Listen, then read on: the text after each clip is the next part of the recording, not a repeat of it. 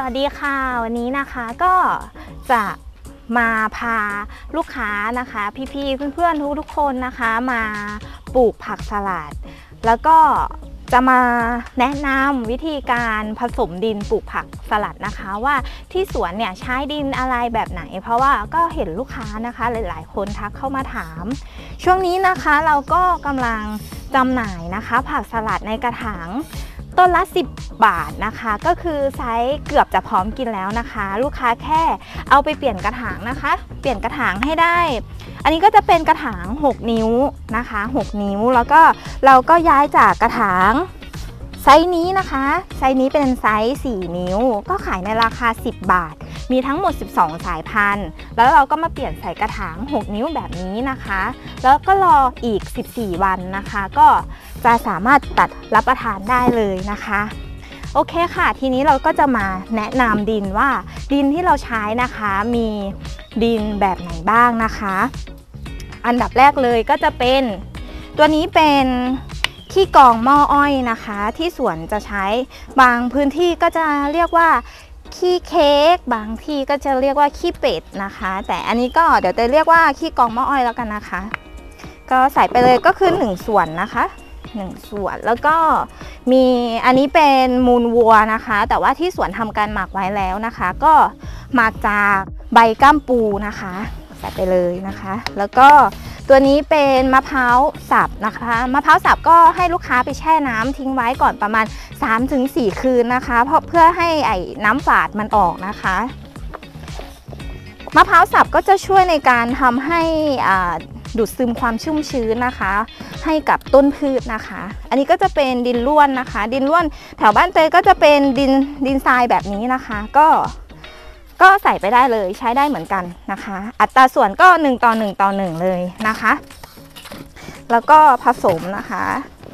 ให้เข้ากันแบบนี้ อันนี้ก็จะเป็นปุ๋ย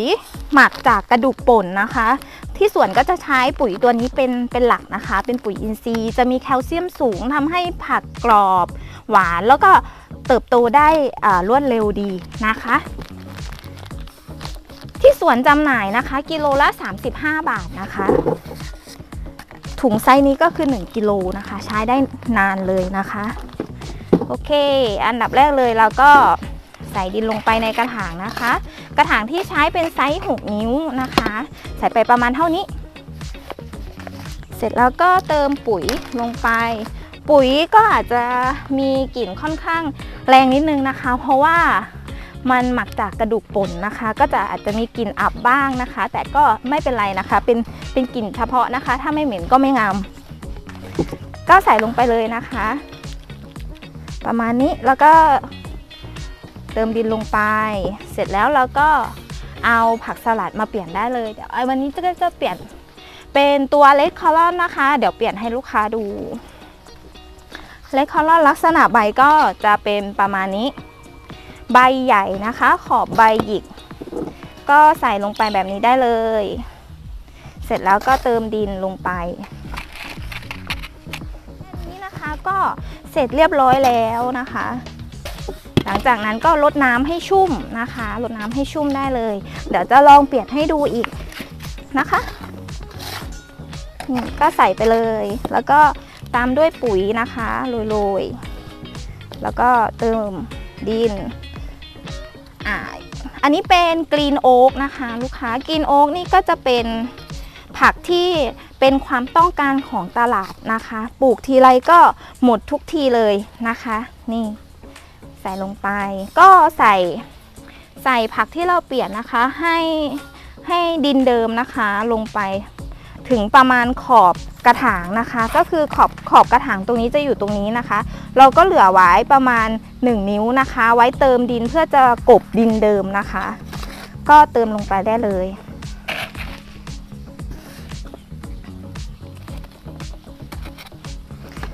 ปลูกแบบนี้ก็ลูกค้าก็จะมีผักสดๆนะคะ ไว้กินที่บ้านได้เลย แล้วก็มือใหม่ มือใหม่นะคะ อยากแบบลองหัดปลูกผัก แล้วก็อยากมีผักไว้กินที่บ้านเองนะคะ ก็สามารถทำได้เลยนะคะ อัตราการรอดก็จะมีค่อนข้างที่จะเยอะนะคะ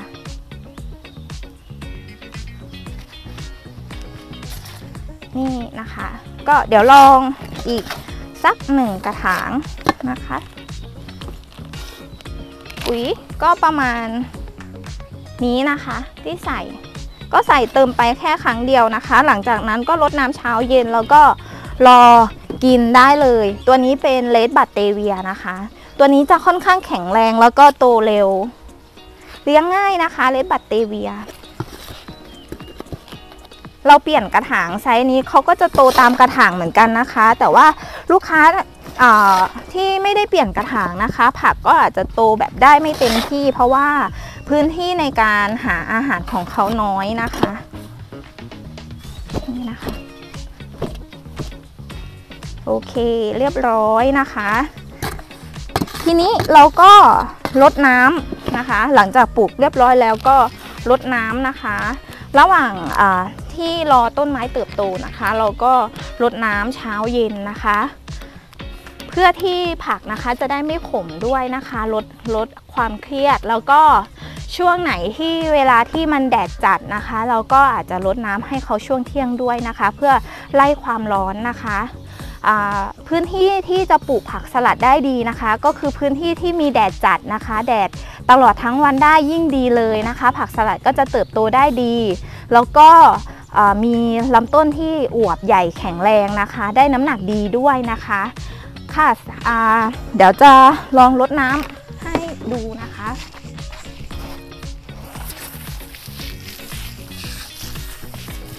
ก็ลดแบบนี้ได้เลยนะคะ นี่นะคะหลังจากลดน้ำเสร็จเรียบร้อยแล้ว เราก็เอาผักสลัดของเรานะคะ ไปวางไว้ที่กลางแจ้งได้เลยนะคะสำหรับวันนี้ก็เอาเทคนิคเล็กๆ น้อยๆมาแนะนำเพียงเท่านี้ค่ะ สวัสดีค่ะ